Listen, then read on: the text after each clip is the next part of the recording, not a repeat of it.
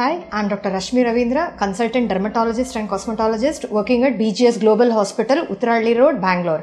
My clinic, Meenakshi Cosmoderma Care, is at Arkere Maiko Layout, Bannerghatta Road.